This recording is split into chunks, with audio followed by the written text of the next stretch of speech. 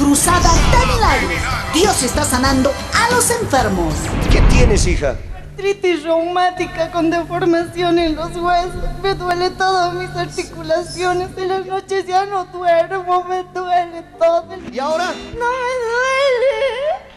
No me duele. ¡Gracias, Jesús! ¿Podemos correr? Sí. A ver, vamos.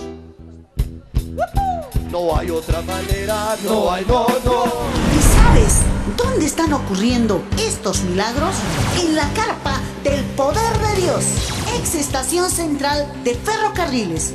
Ven y recibe tu milagro porque nada es imposible.